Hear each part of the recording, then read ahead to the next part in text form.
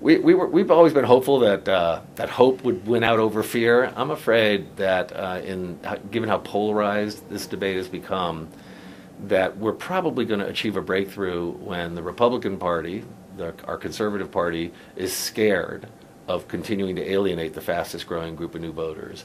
And the Democrats, many of them are strong advocates for immigrants, but many of them are scared of this issue as well, when most of them understand that they don't have to be afraid of the issue so that they fear not doing something. So um, it's become so politicized that I think really the while the positive stories that these dream kids are telling put a human face on this debate in a way that breaks down the myth that they're a bunch of lawbreakers. In fact, people see them more as a bunch of Americans without the paperwork.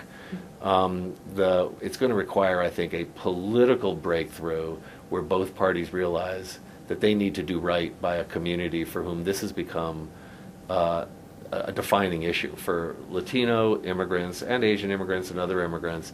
This is about their family, whether their family can stay together. It's about their future, whether they can aspire to all that they can be in a country where if they have limited opportunities because of immigration status, they're just stuck.